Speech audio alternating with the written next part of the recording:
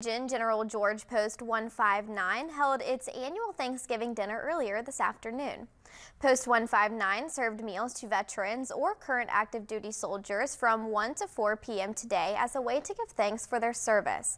They have been serving these meals for almost 20 years. All of the food served is donated by the community, and any leftovers from today will be donated to any shelters in the area. Volunteer Darla Van Horn said that they love having a space each year to serve meals to those who may not have the opportunity to be with their family. This is the day we look forward to every year to help provide a great meal and a gathering for the community for Thanksgiving. And we help a lot of people who may not have those meals um, get that meal today.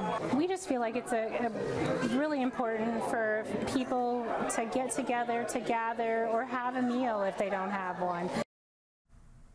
She adds that they also delivered more than 100 meals to the community today, including on-duty law enforcement.